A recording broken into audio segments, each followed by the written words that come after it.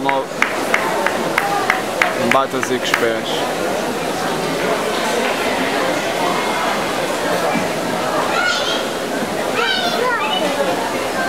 A equipa de ginásio, os Chambores dorme. Ele não bate com os pés.